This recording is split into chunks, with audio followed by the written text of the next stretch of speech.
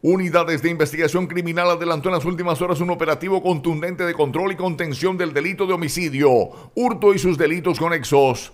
En coordinación con personal del ejército logrando la captura de un ciudadano, el cual portaba armas de fuego. Este caso se adelantó en la manzana del barrio 144, Casa 21B, mediante orden de registro y allanamiento donde es detenido el ciudadano Jairo Alfonso Serpa Salazar de 41 años, el cual portaba en su residencia una pistola Browning calibre 9 milímetros con su proveedor y 10 cartuchos.